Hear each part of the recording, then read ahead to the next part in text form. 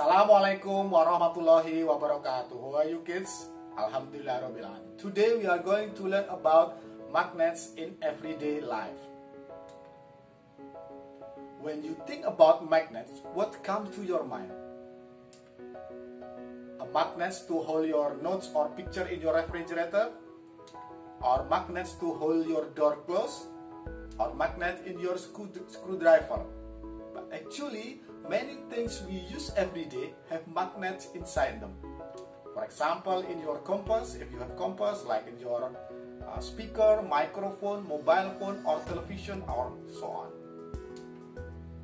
And magnets come in many different shape and size.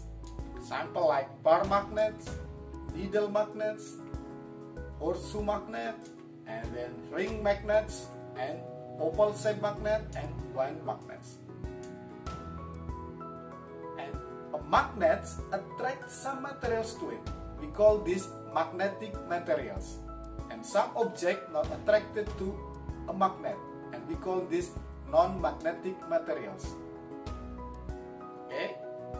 And today's activity, this is your today's activity, find magnetic materials and non-magnetic materials in your home. Fine, you have got some magnet in your lesson kit okay, you said to find which are magnetic materials and which are non-magnetic materials.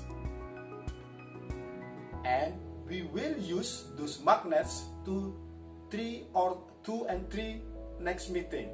So I hope I hope you can taking care of your magnet. How to take care of magnet? Don't hit it and then don't hammer it and don't drop it like this. The magnet will can uh, lose their magnetism if you do like that. Okay, this is uh, our lesson today.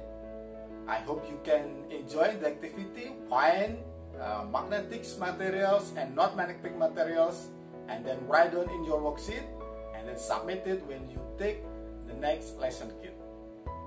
That's all for today. Wassalamualaikum warahmatullahi wabarakatuh.